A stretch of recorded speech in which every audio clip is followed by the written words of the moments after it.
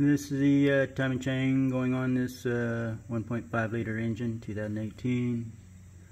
Uh, these are two bolts here, 15 millimeter. I put them on. They, these only go on one way, and then let me get my flashlight here somewhere. I'll show you the light uh, dots.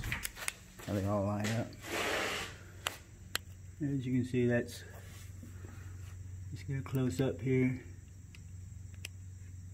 And there's one on that side. Hold the camera still. Put a flashlight on it. Whoop.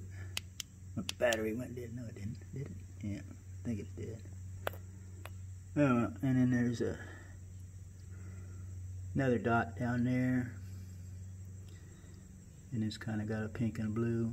And then, of course, you got these tensioner deals on here. This has a little lever on it down here. Get my hand on it. You push it in, push the plunger in, it holds it, pushes against this plastic thing here, right here. Push the plunger in, lift this little lever up. I put a finish nail in there. Held it up, put the timing chain on there. And of course there's a bolt that you gotta put on right here.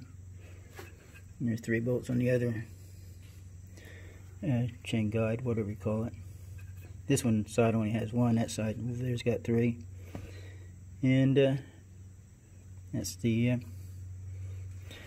timing chain there. Of course I used a adjustable wrench, big one, and just turned it this way and that way to line up the dots.